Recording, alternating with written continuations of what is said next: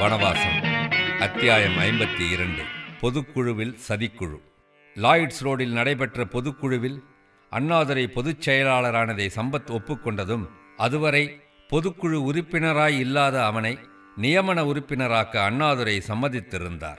திராவிட நாட்டில் கட்டுரை வெளியாவதற்கு சில வாரங்களுக்கு முன்பே பொதுக்குழு உறுப்பினராக அவன் நியமிக்கப்பட்டிருப்பது பற்றி நம் நாட்டில் அறிக்கை வந்துவிட்டது. ஆகவே வேலூரில் நடைபெறப் போகும் பொதுக்குழுவில் அவன் கண்டிப்பாக கலந்து கொள்ள வேண்டும் என்று சம்பத் கூறினார்.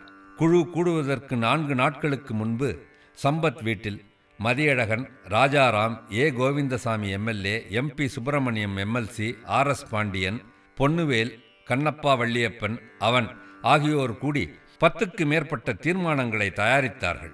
அந்த தீர்மானங்கள் பொதுக்குழுவில் நிறைவேறினால் பல தலைவர்களுக்கு வயிற்றுப்பிழைப்பு போய்விடும். அவ்வளவு பயங்கரமானவையாக அவை இருந்தன. தீர்மானங்கள் தயாரிப்பதில் சம்பத் கைதேர்ந்தவர் முறையற்ற தலைவர்களை தீர்மானங்கள் மூலமே அவர் சித்திரவதை செய்வார்.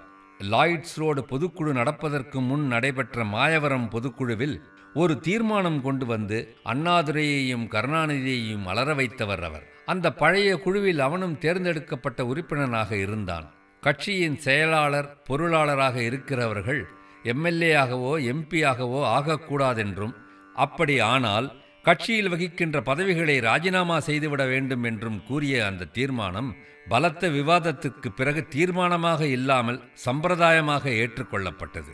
ஆகவே இந்த தடவை வேலூர் பொதுக்குழுவுக்கு தீர்மானம் தயாரிக்கிறார் என்றால் அது கண்டிப்பாக பரபரப்பை உண்டு பண்ணும் என்பது அவனுக்கு தெரியும்.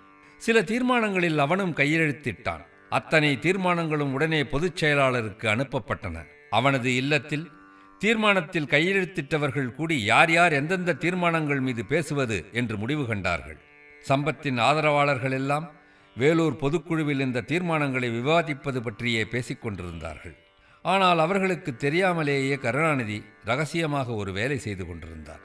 பொதுக்குழுவில் பெரும் ரகளை செய்வது என்று முடிவு கட்டி அண்ணாதுரையின் ஆசீர்வாதத்தையும் பெற்றுக்கொண்டு மேல்மட்டத்தில் இருந்த அண்ணாதுரையின் ஆதரவாளர்களுக்கெல்லாம் தெரிவித்துவிட்டு மற்ற பொதுக்குழு உறுப்பினர்களை ஊர் ஊராக போய் சந்தித்து ஒவ்வொருவரையும் தயார் செய்து உறுப்பினர் அல்லாத அடியாட்கள் சிலரையும் ஏற்பாடு செய்து கொண்டு பல கார்களில் எல்லோரையும் ஏற்றி முதல் நாளே வேலூருக்கு கொண்டு வந்து சேர்த்துவிட்டு தானும் அங்கேயே வந்து விட்டார். இந்த ரகளைக்கு அண்ணாதுரையும் கருணாநிதியும் திட்டமிட்டிருந்தது சம்பத் கோஷ்டியினரில் யாருக்குமே முன்கூட்டி தெரியாது.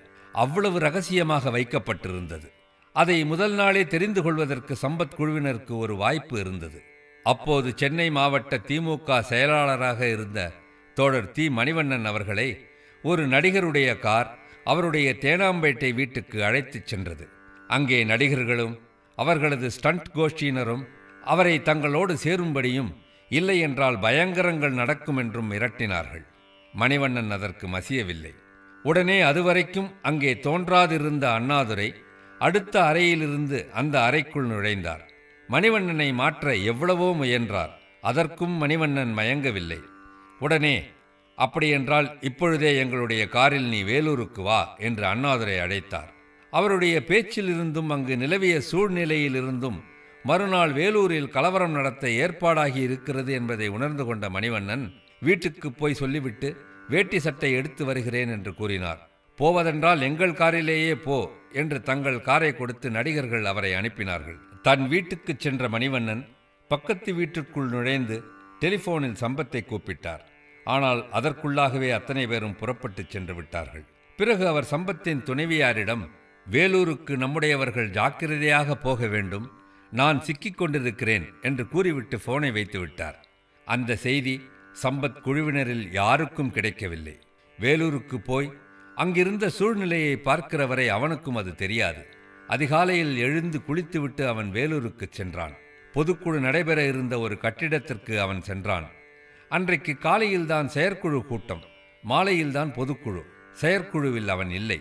செயற்குழு வேறொரு இடத்தில் ஒரு பீடி முதலாளியின் கட்டிடத்தில் நடந்து கொண்டிருந்தது. மாலையில் பொதுக்குழு நடக்க இருந்த கட்டிடத்திற்குத்தான் அவன் சென்றான். சகஜமாகவே உள்ளே சென்றான். தன்னை எல்லோரும் விரோதியாக பாவிப்பார்கள் என்று அவன் எண்ணவே இல்லை. ஒவ்வொருவர் கையிலும் அண்ணாவின் மன்னன் கட்டுரை வெளிவந்த தென்றல் இதழ் இருந்தது. படித்துப் பாருங்கள் அண்ணாவுக்கு ஆபத்து என்று ஒவ்வொருவரிடமும் அந்த இதழை சில பேர் கொடுத்து கொண்டிருந்தார்கள். அவனுக்கு மிகவும் வேண்டியவர்கள் அவனிடம் இருந்து தொடர்ந்து உதவி பெற்றுக் கொண்டிருந்தவர்கள் சிலர் கூட அந்த காரியத்தில் ஈடுபட்டு கொண்டிருந்தார்கள். அப்பொழுதுதான் அவனுக்கு விஷயம் புரிய ஆரம்பித்தது. கட்டுரையை படித்துவிட்ட பல பேர் கோபமாக இருக்கிறார்கள் என்று அவன் நினைத்தான். அங்கிருந்த சாப்பாட்டு பகுதியில் சாப்பிட உட்கார்ந்தான். இரண்டொருவர் குத்தலாகவும் மறைமுகமாகவும் பேசுவதை கேட்டான். அவர்கள் பேச்சில் அவன் அந்த ஆண்டு வெளியிட்ட தென்றல் பொங்கல் மலரும் அடிபட்டது. பொங்கல் மலர்களில் வழக்கமாக அண்ணாதுரையின் மூவர்ண படம் போடுகிற அவன் அந்த ஆண்டு அவர் படத்தை போடாமல் சம்பத்தின் படத்தை மூவர்ணத்தில் வெளியிட்டு எல்லாம் நிறைந்தவர் என்று தலைப்பிட்டு கவிதை எழுதியிருந்ததை அவர்கள் மறைமுகமாக குறிப்பிட்டு பேசினார்கள்.